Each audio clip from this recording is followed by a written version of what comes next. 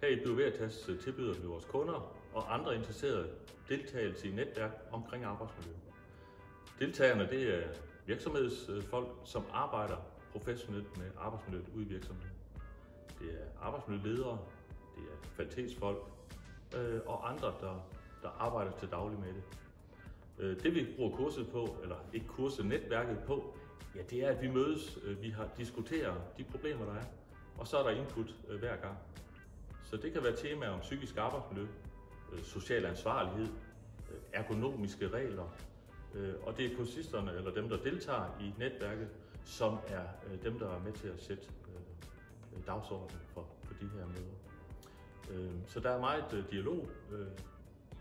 Der er også det, der hedder netværk, altså vi sidder altså også og drikker kaffe og, og taler uformelt om, om det, der er det væsentlige.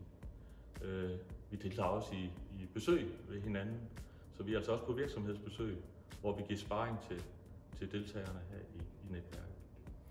Øhm, vi er øh, egentlig ikke så mange, men vi synes, det er rigtig sjovt, så har du lyst til at komme med, så skal du være velkommen. Håber vi ses.